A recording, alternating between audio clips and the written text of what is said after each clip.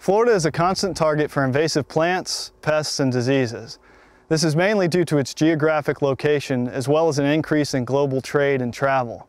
State and federal agricultural agencies work hard to stop these introductions through the enforcement of stringent regulations and through extensive survey. But it's impossible to stop all introductions. A recent example is right around the corner. Here we are at a large infestation of Mikania micrantha in the Redlands area of Miami-Dade County, which is actually the first place where this weed was found in the United States. Now we're standing on a roadside, which is where you'll commonly find this plant. It's a real threat, and not only that it's listed on the federal and state noxious weed list, but it's also considered globally one of the 100 most invasive alien species. Now it's a fast growing vine that's very prolific, and as you can see behind me, the vine will actually grow up into the trees, covering trees and the surrounding plants, and it chokes out the sunlight. Furthermore, they have thousands of flowers, and each one of these white flowers turns into a little seed cluster. That seed cluster is then spread by wind, very similar to a dandelion. And that's one of the reasons why this is such a threat. Left uncontrolled, Mikania micrantha can cover disturbed areas in only a few months and then spill over into agricultural areas. It can smother and overwhelm other small plants and even large trees. It has been documented as a pest in banana, cacao, coconut, oil palm, rubber, and rice plantations. Like Old World climbing vine and kudzu, which have already invaded Florida, it could quickly change the landscape. However, because Mikania micrantha has been discovered early, it may be possible to slow or stop the spread and potential destruction to Florida's natural and agricultural areas. State and federal agricultural officials are surveying to determine the extent of the weed's spread, and the University of Florida's Institute of Food and Agricultural Sciences is developing control methods.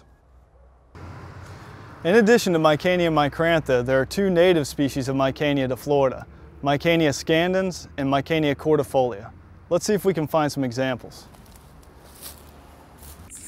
We're standing here in a South Florida subtropical hammock and we've got an example of Mikania scandens, which is one of our native Mikania species. And what's different about this one uh, compared to Mikania micrantha, which is the invasive species, is the flowers actually have kind of a pink tint to them. Also, this, is a, this habitat is very indicative of where you'll find Mikania scandens, which is kind of shady, moist, undisturbed. Mikania micrantha prefers areas where there's some, been some disturbance, hedges, it'll grow along fences.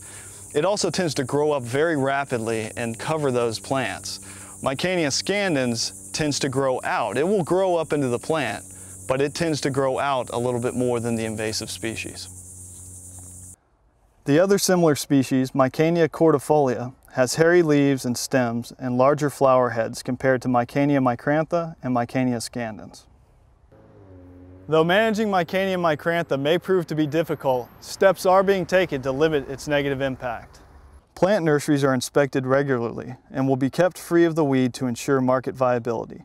If the weed is found, that location is quarantined until removal and treatment is completed. Backyard gardeners are being educated in proper removal methods, as well as how to distinguish between native and invasive Mikania species. Managers of natural areas are being vigilant about destroying Mikania micrantha. So you can see it's growing up all through this area.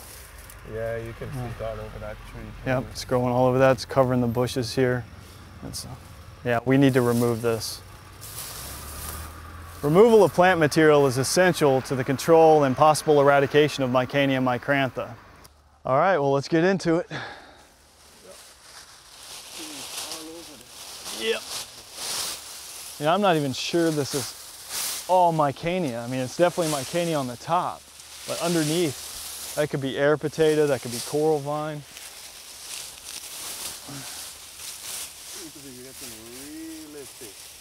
Yep. You just kind of have to, yeah, rip it halfway through. Otherwise, the entire forest is going to come down. You know, we should probably double bag this once it's pretty full. All right.